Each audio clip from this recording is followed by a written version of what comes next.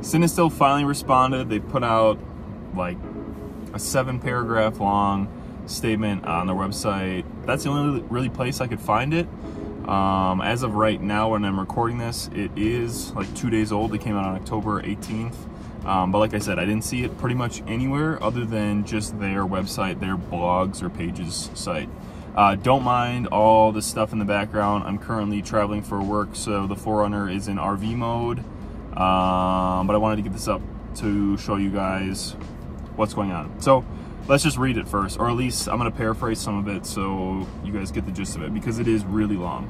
So in the first section, they basically address the whole film community, uh, that they've been listening, seeing what's been going on, and they want to address the whole Cat Labs stuff first and foremost. As for the meat of it, it says, In the years following the commercial launch of Cinestill's 800T brand, several other businesses around the world were inspired to try to replicate something similar by simply washing off the remjet layer from existing motion picture film stocks prior to exposure with varying unsuccessful results.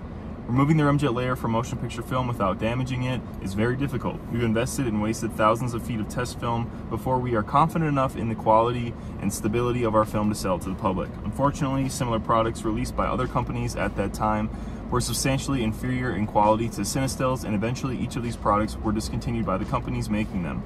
There was also an unfortunate negative effect on our reputation and the perceived quality of our film based on negative experiences from users and labs with these other films and how they were marketed as similar to Cinestill's films. For a certain amount of time, some photographers and labs thought that all film products made from motion picture film were of poor quality, and many labs expressed concern about or downright refused to process any film with motion picture origins, including Cinestill's 800T brand, for fear of damaging their machines or upsetting customers.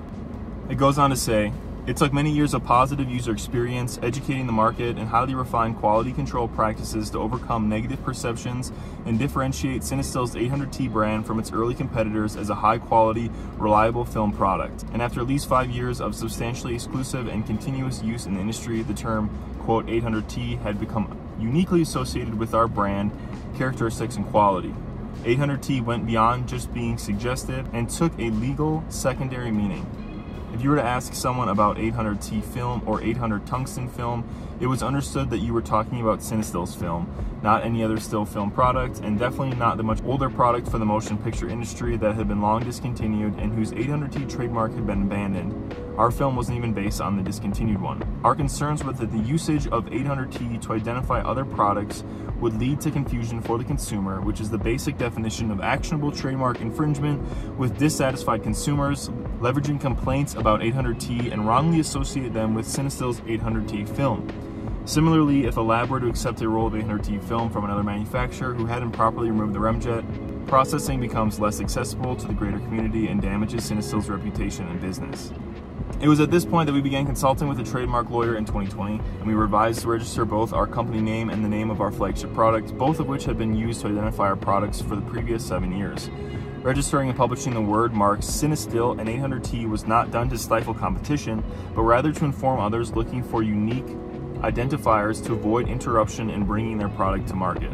This also ensures that the reputation of our brands did not suffer when customers or labs encountered issues with products identified as Cinestill or 800T from sources other than Cinestill. Since 800T and 800 tungsten specifically had gained a secondary meaning in commerce and were exclusively tied to our brand, we were advised to register both Cinestill and 800T as unique word marks being years removed from a merely descriptive usage while being wholly exclusive to a singular product, the U.S. Patent and Trademark Office registered Cinestill and 800T as trademarks of Cinestill Inc. It continues on, other companies are of course welcome to release products that are 800 ISO and or tungsten balanced and use words such as cinema, tungsten, or 800, as many of the repackaged films out of China have in the past couple years.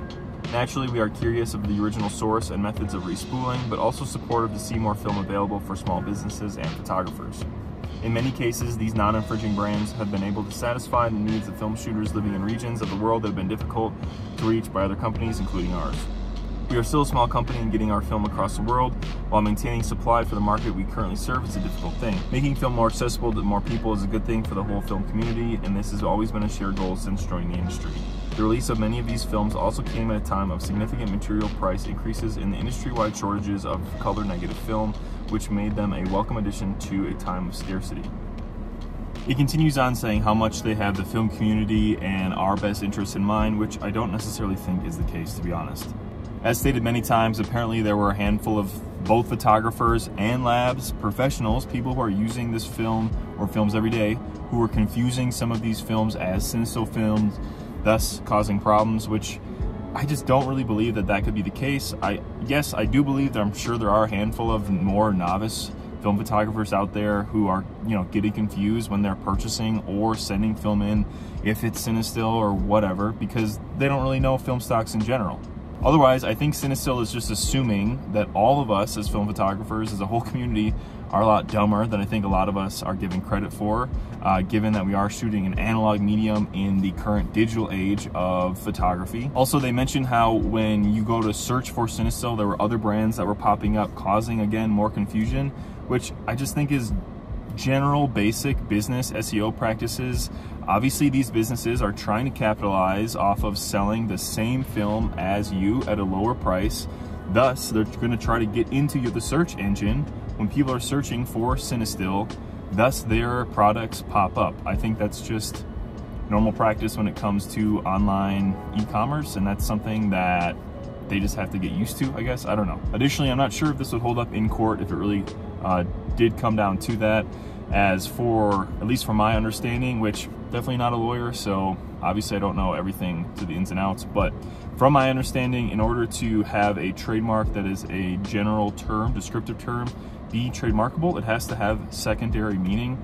Uh, and someone on Reddit, I think, did a good job of explaining what that would mean uh, in an example. So Coca-Cola uh, has secondary meaning because when you say Coca-Cola, you're thinking of the actual cola that comes in the red can of the brand that they've made for the last hundred years. You're not thinking of any generic cola brand. So if we use that same logic uh, and think about Cinestill 800T, how are people confusing it with any other brand on the market if it has this secondary meaning? Just something to think about. Otherwise, I think that's going to do it for this video, guys. I'll stay on the loop with all this Cinestill news um, as we hear more from them or from Cat Labs or whoever in the future. Um, otherwise, let me know what you guys think down in the comments below. Uh, got some more videos from my trip from Utah and Colorado coming soon, so stay tuned for that. Otherwise, thank you guys for watching. Peace out and see you soon.